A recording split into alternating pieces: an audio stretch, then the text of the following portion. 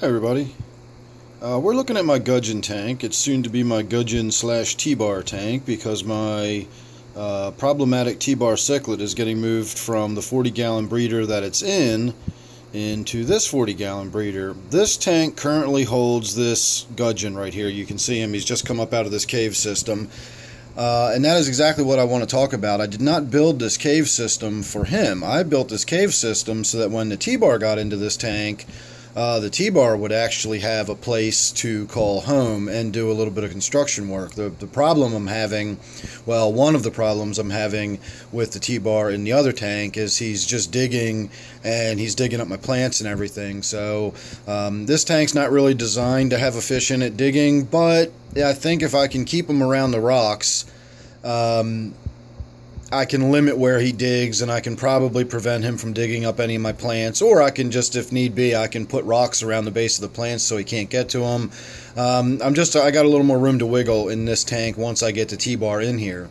The problem being is that I just set this up yesterday with these rocks in here. Up until then it had been just plants and sand without any cave structure at all and it looks like the gudgeon has already taken a shine to these cave systems. In fact, he's taken to them like a duck to water. And now I'm beginning to wonder how much dispute there's going to be when the T-bar goes in the tank over who gets to live in what cave. Uh, I did put two systems in, but you can clearly see one is a little lower rent than the other. Um, and you can clearly see which one this gudgeon has laid claim to. So, one thing that was suggested to me, and I had already sort of pondered this myself, was the suggestion that in addition to adding the T bar, I should put multiple fish in at the same time. This tank's probably not going to be just the T bar and gudgeon. It's probably going to have a small school of something, it's probably going to have some fish on the bottom. Um, so the idea that I can put multiple fish in at the same time, that way if there is any aggression from this gudgeon who feels that his home is being invaded, it'll be spread out amongst multiple fish rather than directed solely at my T-bar. Excuse me.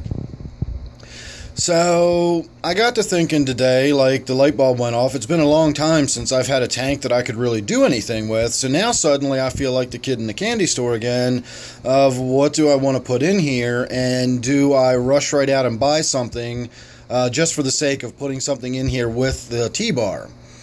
That runs me into the issue of quarantine, and if I do run out and get something, you know, am I going to have to quarantine it for six weeks before I put it in here?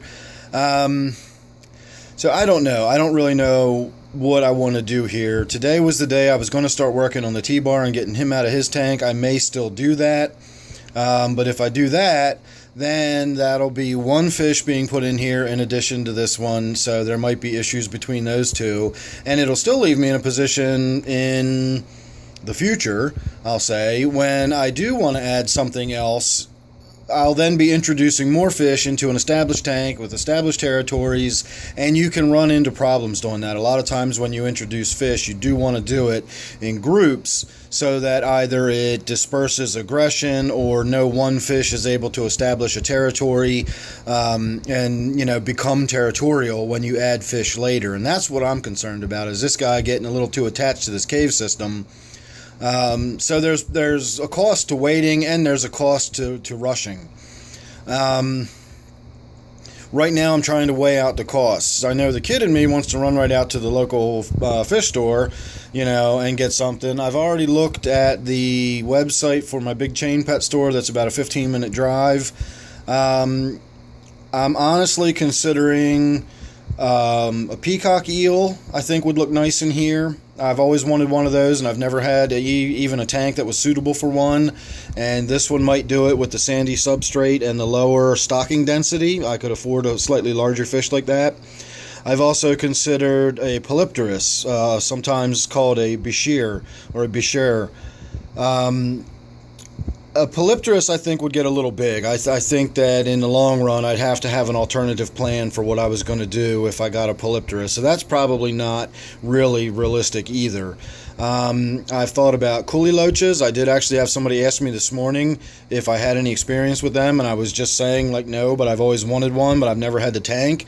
Well, I've got a tank now, and I could put some coolie loaches in here. I could also put, I've you know, I've been considering tossing the idea around of maybe a Severum or a convict cichlid. Uh, I I believe both of them could deal with my softer water and are lower on the aggression scale, so I won't be putting a really, you know, nasty fish in here with this gudgeon. So I've got some choices, and I don't really know what I want to do. I think I might just take a drive over to the fish store today. Always a bad idea when you're in the kind of mood I'm in. Um, especially if you got a couple dollars in the bank, which I do at the moment. So it's very likely that I could come home with some impulse purchases. Although, obviously, if I'm shooting a video about it before I even go over there, they're not entirely impulse purchases, um, but they might be slightly rushed purchases. I don't know. We're going to have to just play it by ear. A lot of it will depend on what they have in stock. Um, what's available, how they look, and that sort of thing. The convicts are on sale. I can get convicts for three dollars right now.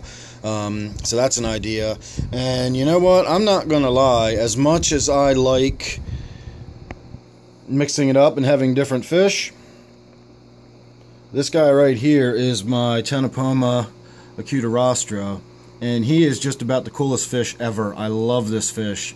And the thought crossed my mind today to get another one and grow it up. But believe it or not, as big and thick as this one is, when they come home from the big chain pet store, they are actually so small that that gudgeon would just make a snack out of it. Um, when I got this guy, he was actually so small he could have hid behind a postage stamp.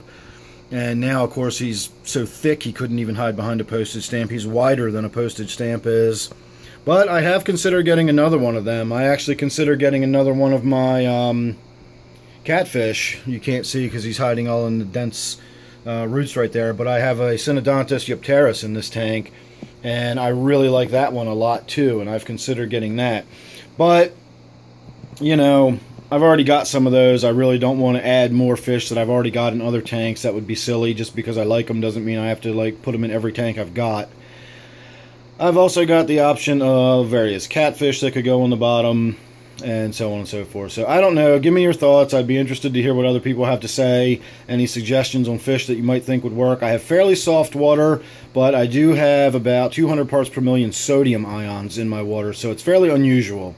Um, some things can live in it and some things cannot.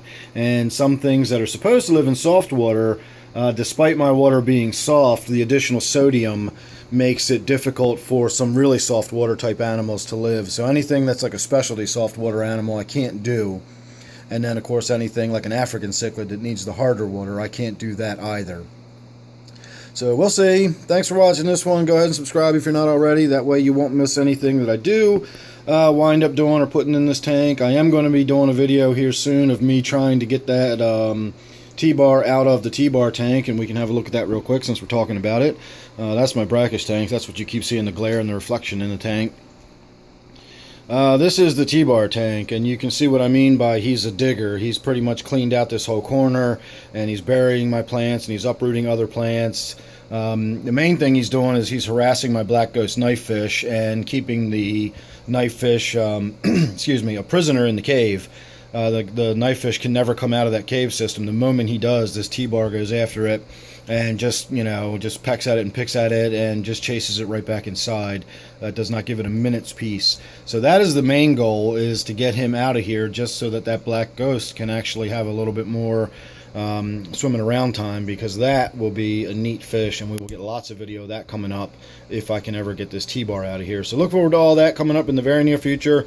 Uh, as I said go ahead and subscribe if you're not already. That way you won't miss any of it. If you already subscribed thanks.